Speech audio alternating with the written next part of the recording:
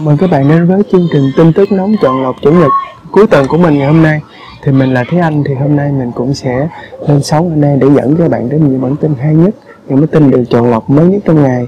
Và một lần nữa thì trước khi bắt đầu vào bản tin thì mình xin uh, các bạn hãy cho chúng mình một like, một đăng một like, một đăng ký, một chia sẻ cũng như bật cái chuông thông báo để nhận được những video mới nhất khi chúng mình lại thông báo mới nhất nhé.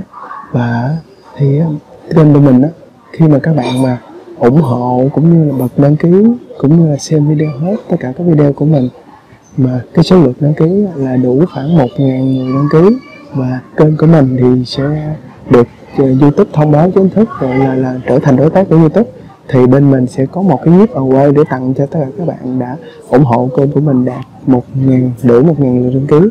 Và cái ờ, phần quà đó thì nó cũng không có quá gì lớn đây là một phần tình cảm quê nhà của viên kênh dành tặng cho các bạn. Và khi nào mà kênh đạt đủ điều kiện để trở thành đối tác của youtube thì mình sẽ thông báo với bạn quay đó trên kênh trang của kênh và các bạn hãy à, tham gia. Nhưng mà nào may mắn thì coi như là một món quà dành của ekip tin tức nóng gửi tặng cho các bạn. Còn những người nào chưa may mắn thì sau này với những cái à, mốc à, đăng ký sau ví dụ 50 ngàn 100 ngàn hay vân vân đó, thì chúng mình cũng sẽ tổ chức một cái clip quay nữa để tri ân tất cả những các giả đã ủng hộ cho kênh của mình trong thời gian vừa qua. Và bây giờ thì không để cho các bạn phải chần chờ thêm một khoảng thời gian nào nữa thì mình sẽ bắt đầu với những bản tin hấp dẫn, chọn lọc mới nhất có trong ngày hôm nay. Ông Putin đồng tình với giả thiết Mỹ đứng sau vụ nổ Nord Stream. Tổng thống Putin cho biết ông đồng tình với giả thiết của nhà báo Mỹ Samuel cho rằng Washington liên quan tới các vụ nổ đường ống Nord Stream. Nhà báo Mỹ hiện nổi tiếng khắp thế giới thực hiện cuộc điều tra và kết luận rằng đặc nhiệm Mỹ đã tiến hành vụ nổ đường ống dẫn khí đốt. Tôi hoàn toàn đồng ý với những kết luận như vậy.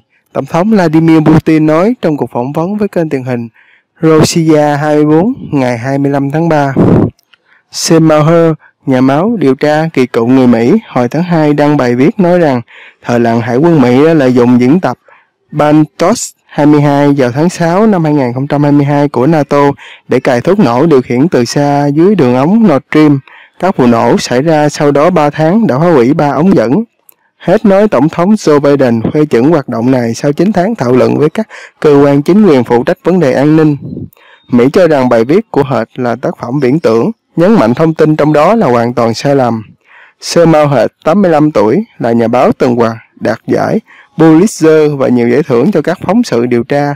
Ông là người phanh phui vụ thảm sát Mỹ Lai và bê bối lính Mỹ tra tấn tù nhân tại nhà tù Abu Ghraib ở Iraq năm 2004. Hertz cũng từng đăng các bài viết với nội dung trái ngược tuyên bố của Nhà Trắng về chiến dịch tiêu diệt trùm khủng bố Osama Bin Laden năm 2011. Tuy nhiên, ông Hertz gần đây hứng chịu nhiều chỉ tích vì những thông tin không có nguồn rõ ràng, mang tính chất của thiết âm mưu và quá dựa vào các nguồn ẩn danh. Trang điều tra Berlincat từng chỉ trích ông vì đưa tin không đúng về các vụ tấn công hóa học ở Syria. Trong cuộc phỏng vấn, lãnh đạo Nga nói thêm Moscow đã thảo luận về cuộc điều tra nổ vụ nổ Nord Stream và vật thể không xác định gần đường ống với chính quyền Đan Mạch, đề nghị họ phối hợp với chuyên gia quốc tế. Chúng tôi nhận được phản hồi rằng họ không cần nhân viên của chúng tôi tham gia và sẽ thông báo nếu cần. Sau khi Liên Hợp Quốc bày tỏ lo ngại, chúng tôi nhận được phản hồi dưới dạng công hàm ngoại giao từ chính phủ Đan Mạch. Họ thông báo đã kiểm tra vật thể và tin đây không phải chất nổ. Lẽ ra họ nên thành thật hơn rằng nó không còn là chất nổ nữa. Chúng tôi không biết chuyện gì xảy ra ở đó. Tổng thống Putin tin sự thật cuối cùng sẽ sáng tỏ. Rất khó để có được sự thật, nhưng một ngày nào đó chúng ta sẽ biết điều gì sẽ đã xảy ra và xảy ra như thế nào. Bốn vị trí rò rỉ trên hai đường ống Nord Stream 1 và Nord Stream 2 được phát hiện cuối tháng 9 năm 2022 sau những vụ nổ lớn. Hai vị trí nằm trong quyền đặc quyền kinh tế của Thụy Điển và hai nằm trong đặc quyền kinh tế của Đan Mạch. Cuộc điều tra chung Thụy Điển Đan Mạch kết luận sơ bộ rằng các vụ nổ liên quan hành vi phá hoại có chủ đích nhưng chưa công bố bên chịu trách nhiệm. Nga nhiều lần tuyên bố phương Tây đứng sau sự việc, song không cung cấp bằng chứng. Đan Mạch ngày 22 tháng 3, 23 tháng 3 nói rằng họ đã phát hiện vật thể lạ hình trụ có đường kính khoảng 10 cm và phần trồi lên khỏi đáy biển dài khoảng 40 cm, gần đường ống duy nhất còn nguyên vẹn của Nord Stream. Cơ quan năng lượng Đan Mạch cho biết họ mời bên sở hữu đường ống công ty Nord Stream 2 AZ của Nga tham gia trục vớt vật thể lạ. Tiếp theo, Nga sẽ bố khí bố trí vũ khí hạt nhân chiến thuật ở Belarus. Tổng thống Putin nói Nga sẽ bố trí vũ khí hạt nhân chiến thuật ở nước láng giềng kim đồng minh Belarus, nước giáp Ba Lan với ba thành viên NATO. Mỹ đã làm điều này trong nhiều thập kỷ. Từ lâu họ đã đặt vũ khí hạt nhân chiến thuật trên lãnh thổ các đồng minh. Tổng thống Nga Vladimir Putin nói hàng ngày 25 tháng 3, giải thích động thái triển khai vũ khí của Moscow ở Belarus không có gì bất thường. Lãnh đạo Nga thêm rằng ông đã trao đổi vấn đề này từ lâu với Tổng thống Belarus Alexander Lukashenko và chúng tôi đã nhất trí thực hiện. Vũ khí hạt nhân chiến thuật có đầu đạn nhỏ, được thiết kế để sử dụng trong một cuộc tấn công hạn chế trên chiến trường, thay vì phá hủy quy mô lớn. Ông chủ Điện Kremlin cho biết Nga đã triển khai 10 máy bay ở Belarus có khả năng mang vũ khí hạt nhân chiến thuật. Moscow cũng đã chuyển giao cho MIS một số hệ thống tên lửa chiến thuật Iskander có khả năng phóng vũ khí hạt nhân. Moscow sẽ bắt đầu quá trình huấn luyện sử dụng từ ngày 3 tháng 4 và dự kiến hoàn thành xây dựng kho lưu trữ vũ khí hạt nhân chiến thực ở Belarus ngày 1 tháng 7. Belarus có đường biên giới với ba thành viên NATO là Ba Lan, Litva và Latvia. Nga và Belarus có mối quan hệ quân sự thân thiết và Minsk đã cho phép Moscow sử dụng lãnh thổ của mình để đưa quân vào Ukraine. Hồi tháng 1, hai quốc gia tăng cường huấn luyện quân sự chung. Ukraine nói rằng họ không thể loại trừ khả năng Belarus tấn công nước này.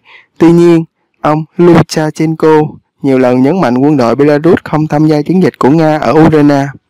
Một quan chức cấp cao chính quyền Mỹ bình luận rằng Moscow và Min đã thỏa thuận về chuyển giao vũ khí hạt nhân trong một thời gian dài. Chúng tôi không thấy bất kỳ dấu hiệu nào cho thấy Nga đang chuẩn bị sử dụng vũ khí hạt nhân. Chúng tôi vẫn cam kết thực thi chính sách phòng vệ tập thể của NATO. Ngoài ra, ông Putin tuyên bố Nga sẽ triển khai đạn uranium nghèo ở Ukraine nếu Kiev nhận được loại vũ khí này từ phương Tây. Vất vụ khang Bộ Quốc phòng Anh Annabel Gondier ngày 21 tháng 3 cho biết số đạn dành cho xe tăng chủ lực Challenger 2 sẽ chuyển cho Ukraine có đạn xuyên giáp chứa uranium nghèo. Nga tất nhiên có những gì cần thiết để đáp ứng trả.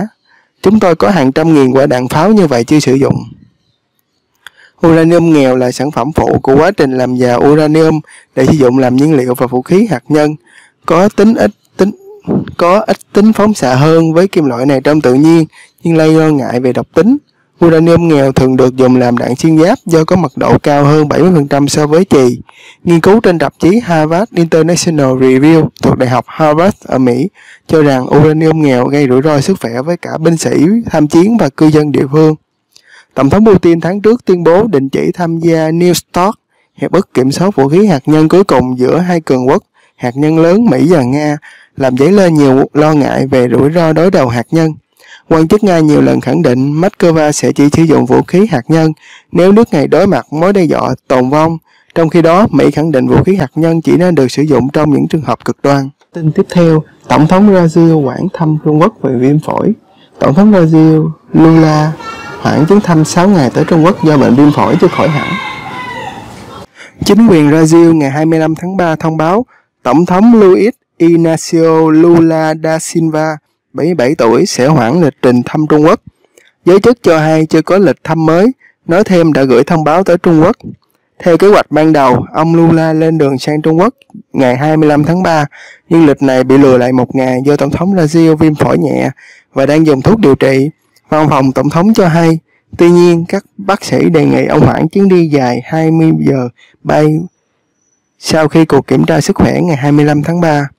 Tình trạng của máy đã cải thiện, nhưng các bác sĩ phụ trách y tế cho Tổng thống vẫn khuyến nghị ông hoãn chuyến thăm Trung Quốc tới khi khỏi hoàn toàn. Chính quyền Brazil dẫn lời bác sĩ Anna Helena Zemolio trong thông báo. Kể từ khi nhậm chức 3 tháng trước, ông Lula đã tới thăm Nigeria và Mỹ. Trung Quốc là đối tác thương mại lớn nhất của Brazil và thương mại đã được là kỳ vọng là chủ đề quan trọng trong chương trình nghị sự của ông Lula tại Bắc Kinh. Năm ngoái, kim ngạch thương mại song phương vượt 150 tỷ đô la. Tổng thống Brazil coi Trung Quốc là đồng minh quan trọng trong sáng kiến của mình về thành lập nhóm quốc gia giúp đàm phán thỏa thuận hòa bình cho Nga và Ukraine. Ông muốn Brazil làm trung gian, giống như ông đã làm trong nhiệm kỳ tổng thống thứ hai năm 2010 trong các cuộc thảo luận hạt nhân giữa Iran và Mỹ. Kế tiếp, người dân thành phố tiền phương Ukraine mong mỏi chiến dịch phản công. Thành phố Orin Hill, miền nam Urena chỉ còn rất ít cư dân bám trụ và mọi hy vọng của họ đang đặt vào chiến dịch phản công của quân đội. Chỉ còn ba người bám trụ trong khu nhà 9 tầng với 146 căn hộ ở thành phố tiền phương Orinkip, miền nam Urena. Nhiều tháng qua, họ sống dưới tầng hầm, sử dụng máy phát điện, trong khi hệ thống sự điện của thành phố đã sụp đổ vì các cuộc pháo kích liên tục của lực lượng Nga. Bất chấp khó khăn, Vilali Piliai, một trong ba cư dân dưới tầng hầm, gần đây cảm thấy phấn chấn và tràn trề hy vọng khi quân đội Ukraine đang chuẩn bị cho cuộc phản công mùa xuân có khả năng đẩy lực lượng Nga ra khỏi thành phố. Chúng tôi sống sót qua mùa đông, đó đã là một chiến thắng lớn. Bilia cho hay, sắp tới quân đội của chúng tôi sẽ tiến công, mọi thứ sẽ trở nên tuyệt vời và tôi có thể trở lại sống trong căn hộ của mình. Orinkyu, thành phố thuộc tỉnh Zaporizhia, một trong bốn khu vực Nga tuyên bố sát nhập hồi năm ngoái, hứng chịu các cuộc tấn công gần như hoàng ngày của lực lượng Nga. Khu vực giao tranh ở vùng ngoại ô phía nam Orinkyu gần đây không thay đổi kể từ khi quân đội Nga xuất hiện tại đây hồi tháng 3 năm 2022. Nga tấn công Orinkyu hồi tháng 1 nhưng thất bại và một đợt phản kích thăm dò gần đây của Ukraine khiến họ hứng chịu nhiều tổn thất mà không đẩy được lực lượng Nga ra khỏi ngoại ô thành phố.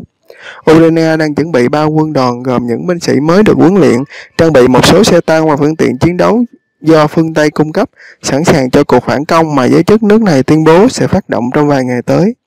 Đẩy lùi Nga khỏi các khu vực ven biển vùng Zaporizhia, phía nam Orinkyu và các đất hành lang trên bộ của Moscow tới bán đảo Crimea là một trong những mục tiêu quan trọng nhất Ukraine đặt ra. Nếu thành công, Kiev có thể khôi phục đường tiếp cận biển Azov và khiến Nga gặp nhiều khó khăn hơn trong việc tiếp tế cho lực lượng đang đóng quân ở Crimea. Nga đã củng cố phòng thủ ở nửa phía nam tỉnh Zaporizhia bằng các hệ thống công sự với hàng chục nghìn binh lý trấn binh sĩ trấn giữ. Nhiều người trong đó được triệu tập theo lệnh động viên vào mùa thu năm ngoái. Orinkiel, thành phố có hơn dân số hơn 14.000 người trước xung đột, nay chỉ còn 2.000 người. Một số cư dân từng tìm cách quay về khi các cuộc pháo kích của Nga giảm bớt, nhưng sau đó lại phải sơ tán khi giao tranh trở nên quyết liệt hơn. Trong lúc Vladimir Medvedev, một trong số ít cảnh sát còn lại ở Rinkiel, lái xe quanh thành phố, luôn chú ý lắng nghe tiếng rít của pháo phản lực phóng loạt Nga để nhanh chóng tìm nơi trú ẩn. Những trận pháo kích như vậy đã tàn phá gần như toàn bộ thành phố. Menvis vừa đi vừa chỉ vào một trường học, một bể bơi mới xây, một bệnh viện đều đã bị phá hủy hoàn toàn. Tất cả đều tan thành tro bụi. Ông nói, nhà của ông đã bị thổi bay nóc trong một cuộc pháo kích của Nga.